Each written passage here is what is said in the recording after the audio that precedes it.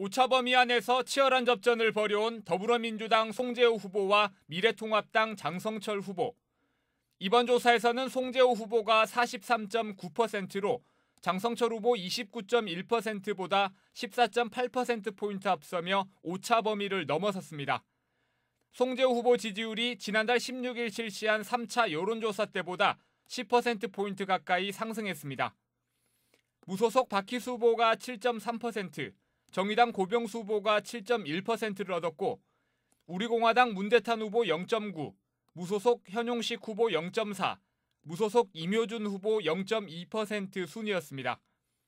당선 가능성에서는 민주당 송재호 후보가 47.7%로 통합당 장성철 후보 22.7%보다 갑절 이상 높았습니다.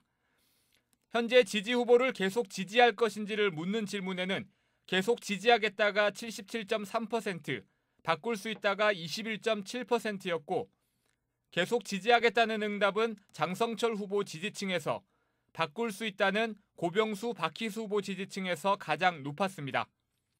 투표 참여 의향에서는 연령대가 높을수록 적극적 투표 의향이 강했고 20대 이하는 54.9%로 60대 이상 88.2%보다 33.3%포인트 낮았습니다.